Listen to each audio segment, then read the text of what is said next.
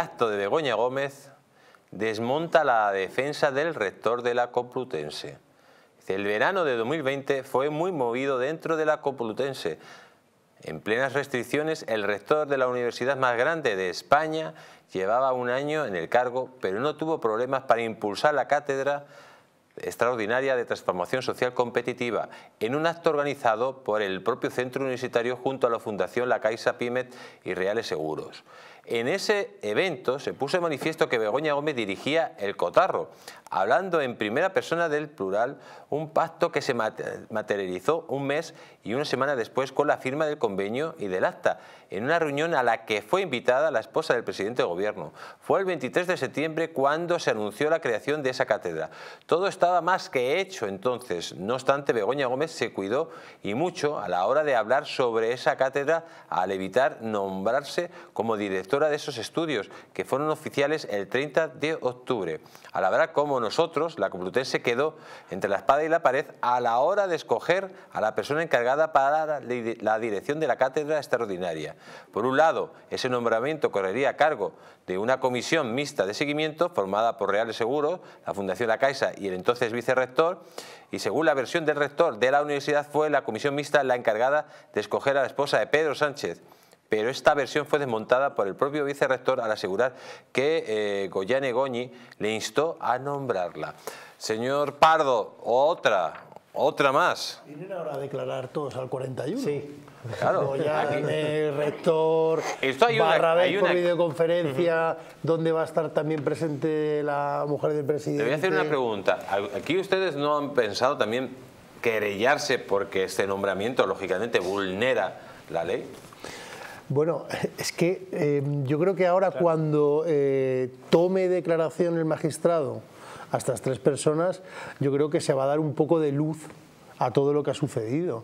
Y seguramente va a haber otras personas implicadas ahora mismo y que están todas calladas en silencio ante lo que puede suceder el 5 de julio y el 15 de julio. Eh, y bueno, lo que dice el rector, yo creo que el rector lo que está haciendo es bueno, intentar cubrirse las espaldas y decir, a mí no me digáis, irá por Goyane y a mí dejarme que yo aquí no tengo nada que ver. Por cierto, esto ya no es nuevo en la universidad. Esto ya hay otros casos ¿no? que suenan a la gente. Y entonces nos deberíamos empezar a interrogar también los ciudadanos ¿Qué sucede dentro de las universidades con los másteres? Con estos tipos de másteres que a un alumno le cuesta un pastizal sacarse un máster habilitante, no te digo ya para la abogacía o la procura, que cuesta incluso más que el grado. ¿Y qué pasa con estos másteres de esta gente? Pues que son másteres prefabricados. Además, yo aquí estoy viendo una contradicción y yo creo que, que, nos habréis dado cuenta también vosotros, ¿no? El hecho de que sin Begoña no hay cátedra y, sin cátedra no hay Begoña, lógicamente, ¿quién autoriza? Con lo cual la contradicción está en el, en el excelentísimo señor rector el excelentísimo señor rector en este momento es la llave de la posible imputación del vicerrector y de eh, eh, eh, muchas más personas. Con lo cual la contradicción es clara y palmaria.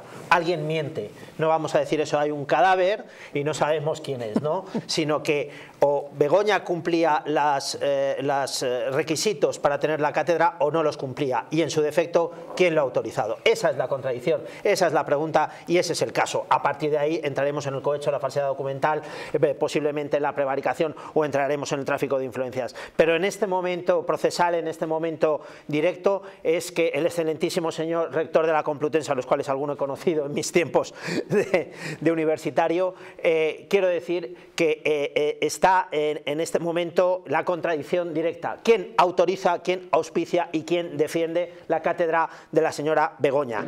los patrocinadores están ahí, lógicamente es caso aparte el tema de los patrocinadores, como muy bien dice porque eh, evidentemente aquí ha pasado de todo con las universidades, la Autónoma, la Complutense, con la de Barcelona, etcétera, con los patrocinadoras, porque evidentemente, pero eso es otro harina de otro, costal. En este momento, Begoña, que es el centro de atención, eh, difiere directamente todo el caso a lo que diga en este momento el rector, porque la contradicción está ahí.